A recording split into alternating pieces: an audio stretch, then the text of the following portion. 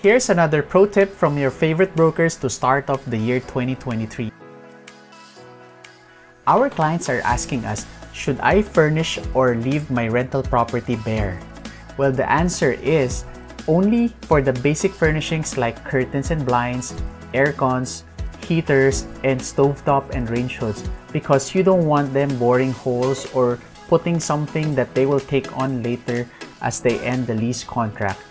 But for the movables like sofas, dining room set, the beds, and other furnishing equipment, you could leave them um, up to the tenant's own preferences.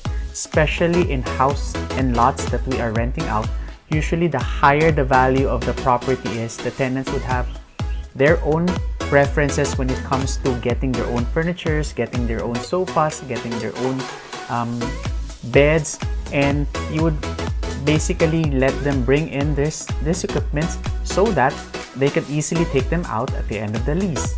So that's a pro tip from your favorite broker. If you have other questions, feel free to message us and we will answer via video. Stay tuned for the video tomorrow.